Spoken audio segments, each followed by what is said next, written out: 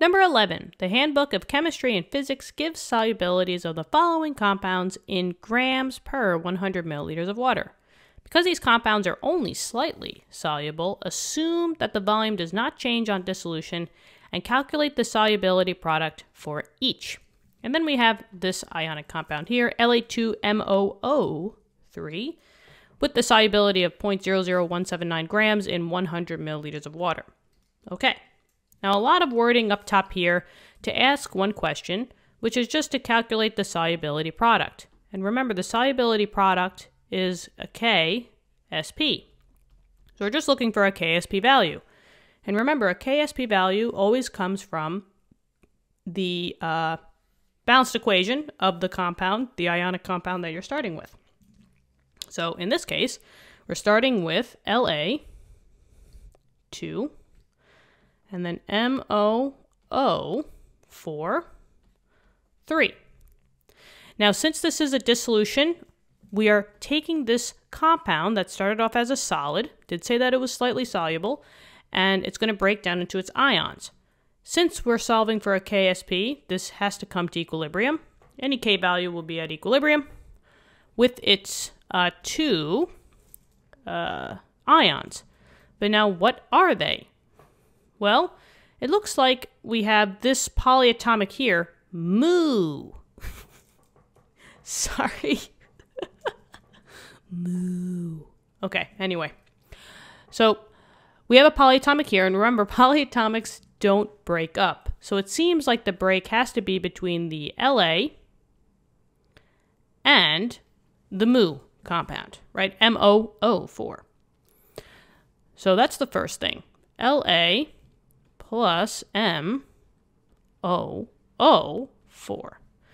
But now since we're dissolving, we need to find out what these ions are, right? The, the compound's going to break up into its ions in the water. Well, that's where we go back to basics to our uh, handy dandy little crisscross method where we take the subscripts and crisscross them back up. There was two LAs for every three MOO4s. So this 2 crisscrosses up, telling us that the MOO4 had a, a negative 2 charge, and the 3 crisscrosses up, telling us that the LA had a plus 3. So I know that the LA has a plus 3, and the MOO4 has a negative 2. Since we have charges, they're going to be aqueous. And this compound that we're starting with was a solid. The solid dissolves into its ions. Now we just have to make sure that this is balanced, right? But I have two LAs. So I have to put a 2 in front of the LA here. I have three MOO4s. So I have to put a 3 in front of that polyatomic. And now we're good. So that's the first step. Now from this balanced equation, I could make kind of like a general equation as to what the KSP would be for this problem. Remember, the general KSP formula is this one right here. It's just the concentration of the products raised to the coefficients because your ionic compound that you start with is always going to be a solid if you're finding out a, a solubility product. And no solids allowed. No solids allowed. As my five year old self would say. Anyway, I think I've done way too many chemistry problems today. So this might be the last one for the day, but we'll see. Okay, so the two products are the two ions, right? So we have La plus 3 times the MOO4 minus 2. But remember, with KSPs, you just got to be careful. We have to raise them to the coefficients. There was two LAs, so I have to raise the concentration of the LA to, to the second power. And there was three MOO4s, so I have to raise whatever the concentration of this is to the third power. But now the question is, do I know what the concentration of La is at the moment and the mu compound? No. So I have to find that first. The only number that they gave us was this starting material, the 0.00179 grams per 100 mils. But keep in mind, if I want to find a molarity, which is always what these brackets are, molarity is always in moles divided by liters. So it looks like a good old conversion where we have to convert grams into moles and milliliters into liters. Let's do it. So I'm going to come down here. 0 0.00179 grams of the original compound. So that's the ionic compound, the La2 MO043.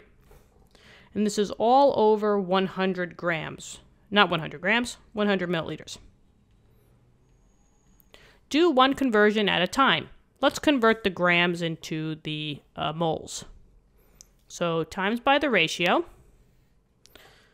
Put the unit you don't want on the other side, so grams of the La2 MOO 4, 3 goes on the bottom.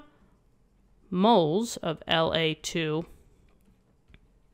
MO 4, 3 goes up on top. This is the periodic table. One mole on the periodic table equals the molar mass. So let's find it out. La, 138.9 times 2, plus 3 MOs, so plus 3 times molybdenum, 95.95, plus 12 oxygens. So I get 757 I think that's an airplane. 757. That's 747. I don't know anymore. Oh man. Anyway, grams. Can't solve with grams. And we're left with the top unit of moles. Now, let's just convert the milliliters. So, times by the second ratio, just keep flowing with it. I don't want milliliters, so that has to go on the top now because it was on the bottom and then liters go on the bottom. A thousand mils for every one liter. Cancel out milliliters, you're now left with liter, and that's the unit for molarity, moles divided by liter. So just figure that out. 0.00179 divided by 100 divided by 757.65 divided by, or actually, times. Times by a 1,000. 2.36 3 2.363 yep times 10 to the negative fifth and that's mole per liter. But the thing is here this number is for the beginning compound. So that's all the way over here.